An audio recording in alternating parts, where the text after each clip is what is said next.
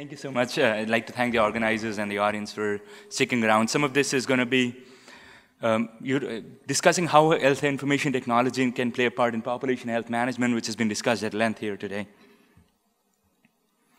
Um, I'll talk about the burden of, uh, of, inflammatory bowel diseases at the population level and what are the key components of population health management and where can health IT actually play a part here.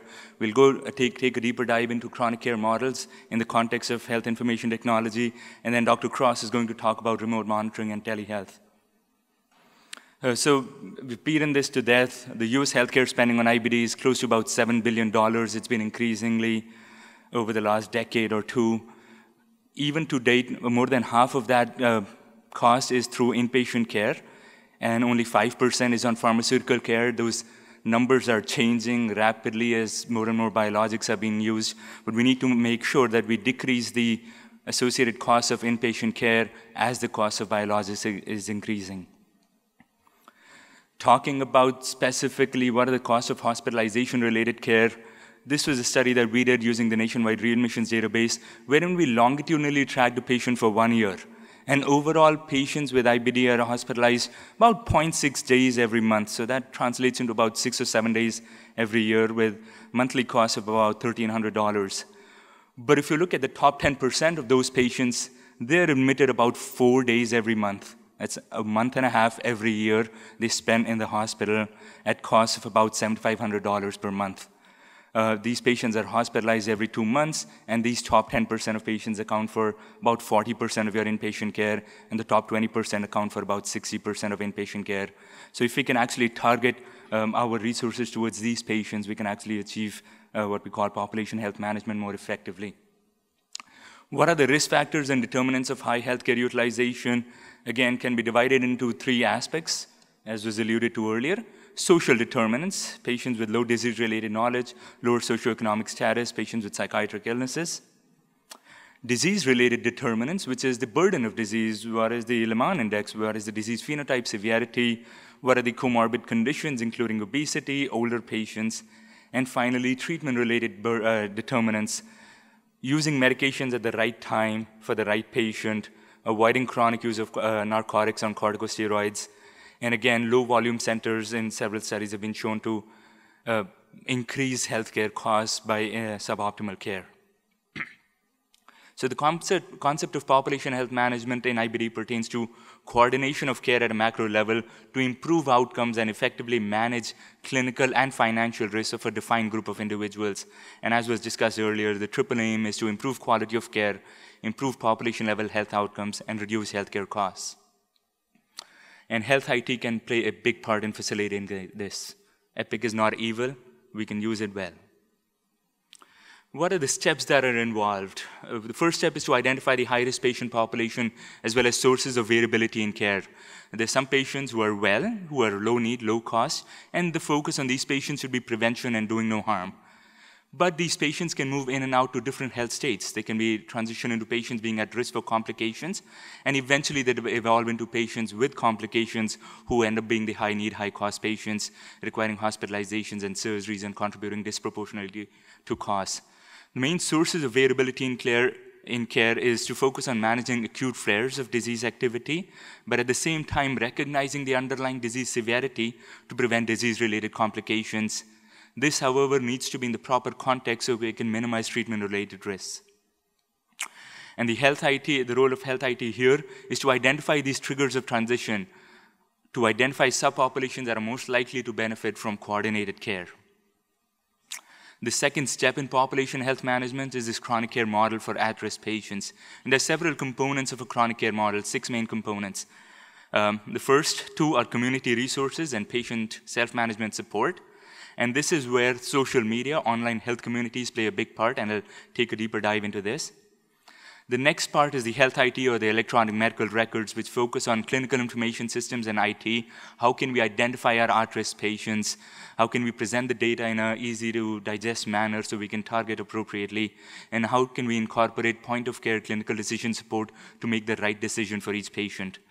And finally, the concept of healthcare or reorganization and delivery system redesign, which will go into the concept of telemedicine and IBD med medical homes that Ray would be talking about. So here, the role of health IT would be to facilitate a shift from ambulatory care, from acute, episodic, reactive encounters to more a proactive effort, planned and individualized long-term care for patients. So I'll take a deeper dive into each of the key components of chronic care models. The first is online health communities and social media. And again, we this is something that is occurring at a rapidly increasing pace. We see this every time in our patients. 80% of users look at healthcare information online. I'm sure that number now is close to 100%. Everybody looks at somebody else's testimony. All our patients talk about how somebody else had a bad experience with the medications, and everybody's using all of these information that is available. And within these online health communities, there are different persona who, which, who shape the thinking of patients.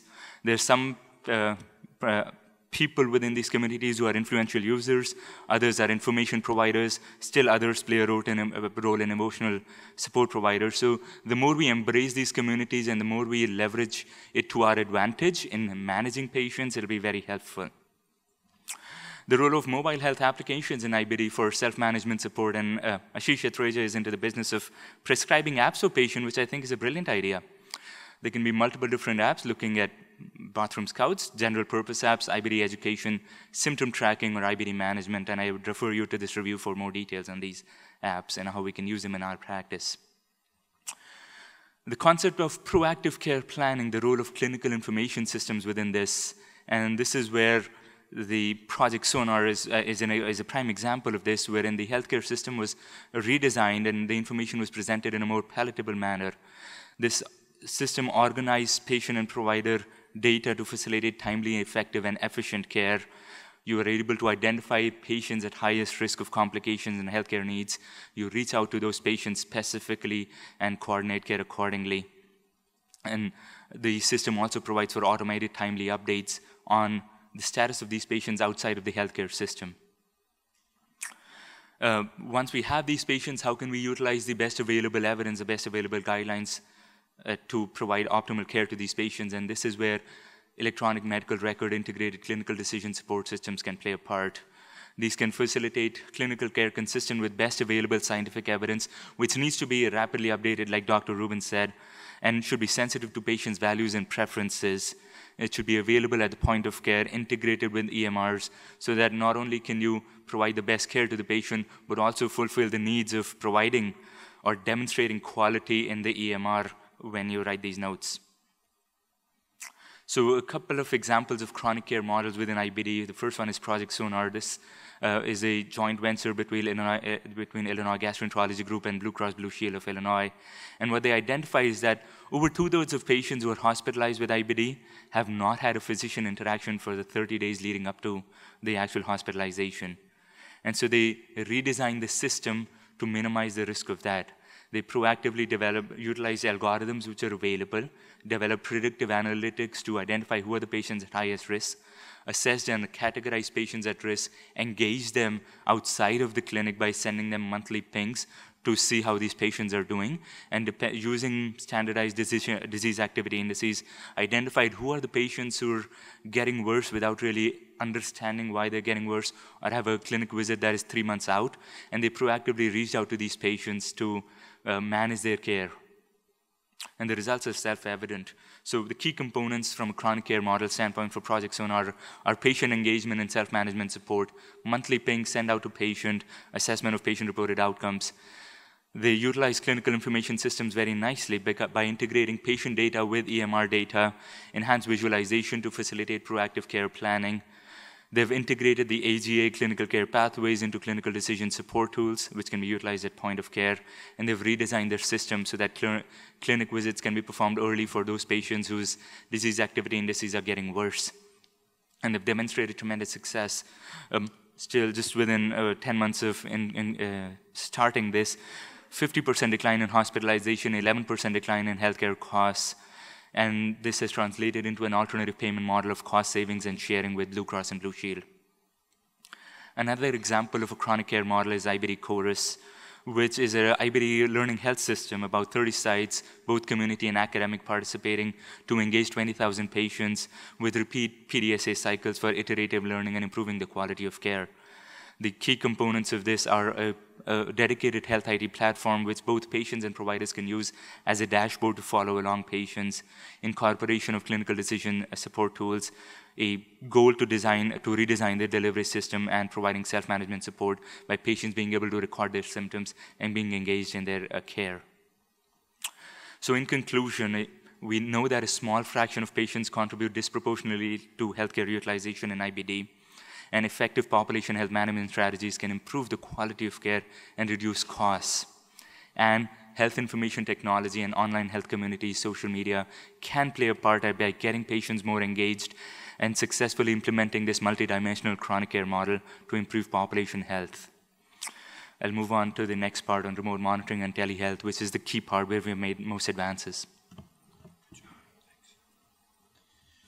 So I, I, don't have any relevant financial disclosures for this, but I, I do have a key disclosure that even though I'm a, an advocate for telehealth, I have to admit that if any of you asked me for help with your computers, I would be completely useless. So as far as the bells and whistles behind this, behind this technology, that's not really my strong suit. So uh, traditional monitoring of patients with IBD has included scheduled follow-up visits or visits, visits as needed. Uh, this is an interesting study that looked at the average time of an office visit, which included travel and wait times in the clinic. And the average office visit in the United States takes about two hours. So that's the kind of time that our patients are putting in to see providers. In between office visits, often telephone contacts, David Binion has highlighted the burden of telephone calls in patients with IBD. What are the problems with traditional monitoring? One is access to a nurse and physician, and this could be access because you live in a remote area and you don't have an IBD specialist. It could be because you don't have resources to get to the provider. It could be that the provider and the nurse are not available. So those are all big problems which can lead to delays in scheduling follow-up or testing and in initiating treatment plans. This is from a, a clinical gastro-hep article that Susie Kane and I wrote that highlights the different aspects of telehealth. The first panel, panel A, is telemonitoring. This can include uh, web-based technology using your cell phone or your computer. It can also include text messaging. So this is where we're pinging patients about their symptoms, they report outcomes, and then they either get algorithmic driven responses to self-manage their condition or it alerts the team to the problems that they're having so that we can intervene. Panel B in the middle is a classic telehealth visit. This is provider in office, patient in home. You're conducting a visit just as you would in the office, but you're doing it virtually. And then panel C is the Medicare model where patients in certain zip codes, like rural zip codes, would go to a local provider's office where they would then interact with a remote provider at a, a distant site. What are the reasons for increased use of telemedicine in 2017? Well, this is an old study from 2013. It's almost universal now that patients have access to a computer or cell phone. It's estimated that over 90% have access to a cell phone. Uh, it's pretty clear that outcomes in chronic illness care are suboptimal, so we need to do better. And patients, especially younger patients, are seeking more efficient and convenient ways to receive their medical care. So now I'm going to show you a number of studies that have, have looked at either telemonitoring or telehealth. This was a study from the Veterans Affairs, a small study, randomized controlled trial of 34 veterans. So what they did in this study is that patients of the Palo Alto VA either received a standard encounter or they received a telehealth encounter. So the fellow in the Palo Alto VA would have assessed a veteran. They would then go to the conference room and they would remote with a specialist at the San Francisco VA. They would come up with a management plan, and they also had access to imaging and PATH via telehealth. They would then go back into the room with the veteran, and they would have a three-way conversation with the fellow and veteran in the room and the remote specialist at the San Francisco VA. Uh, when they looked at these two groups of patients, both groups rated their experience as excellent. Uh, the total clinic duration uh, in each encounter was approximately an hour, wait time and median number of patients per clinic session, four to five, were similar. So that's, that's good. Um, I can tell you that my chief, my administrator, Tom Ullman, is not going to be happy seeing four to five patients per clinic session. So um, just proof of concept that this can be done and that patients are very receptive. This was a telemonitoring study from Denmark and Ireland, 333 patients. It was a one-year randomized controlled trial in patients with mild to moderate UC. This was a web-based technology called Constant Care.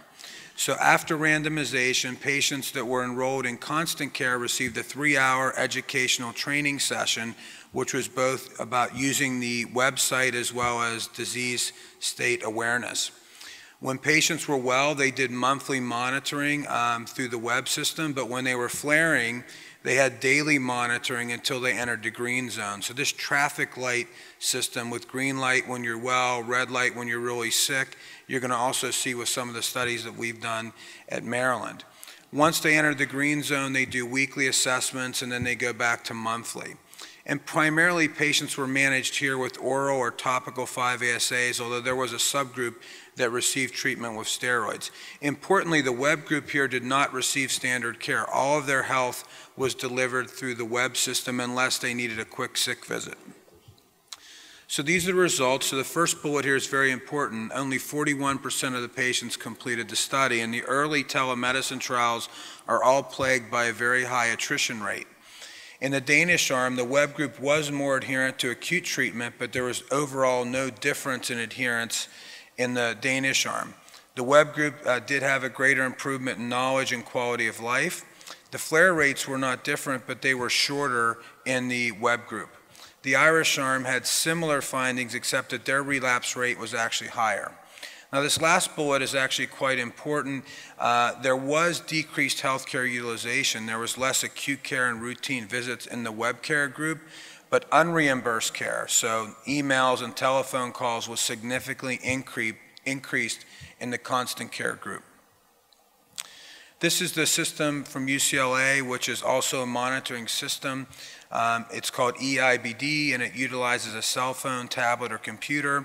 So they initially studied whether patient self-assessment using this system was as accurate as in-person in-clinic assessments, and in fact it was. They were quite, patients are quite accurate at self-assessing their symptoms.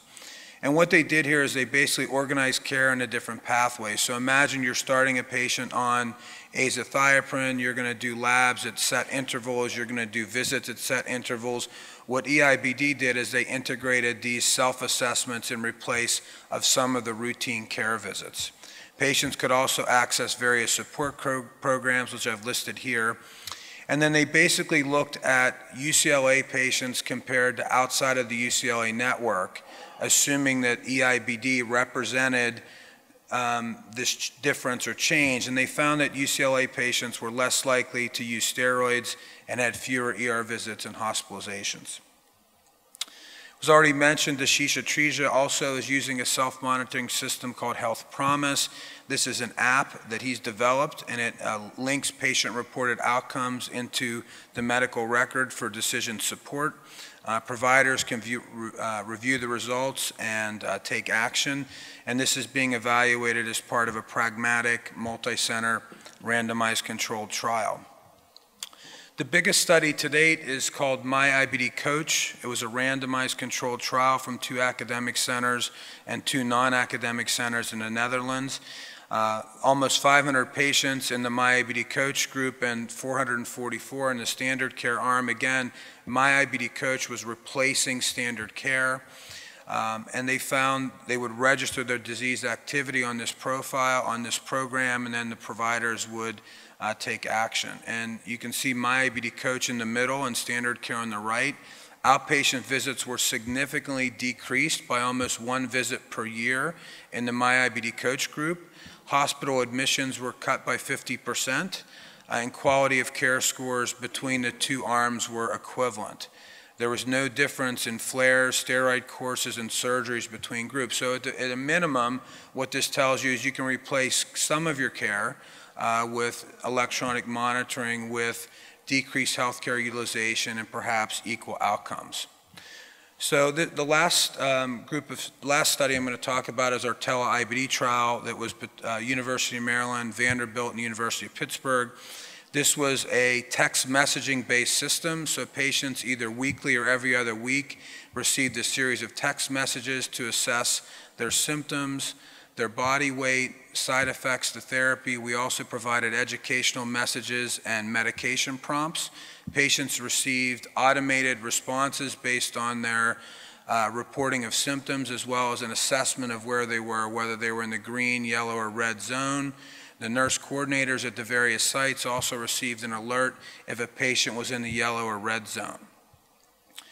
So we recruited 348 patients amongst the three sites. We had uh, almost 75% of patients complete the final 12-month visit, which was quite good uh, for a telemedicine trial. And our withdrawal rate in the one-year trial was only 14%, although it was higher in the two telemedicine arms. This is looking at Harvey Bradshaw index scores in the, in the patients with Crohn's disease at baseline.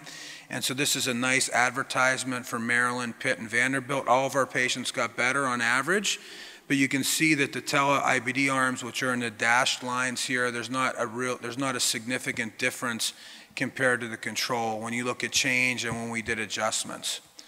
Similarly, looking at um, SCCAI scores in ulcerative colitis, all the patients improved, but there was no difference in the telemedicine group. And looking at quality of life, we're looking at the inverse. Quality of life went up in all three arms, and this was not significant between the groups. So the last data slide here is going to be very hard to read. We also looked at healthcare utilization from extraction of data from the electronic records at the three sites. There's three main take-home messages here. In the first line, if you can make it out, healthcare encounter, um, encounters, total encounters increased significantly from baseline in all three groups. So we used a lot of resources to manage these patients. This was primarily driven by office visits, infusions, and electronic encounters, emails, or I'm sorry, telephone encounters. The second message here is that remember I told you emails and telephone calls was increased with the prior systems. Actually in our study we didn't find that. Although they did increase in the groups, there wasn't a significant difference between telemedicine and standard care and the unreimbursed care.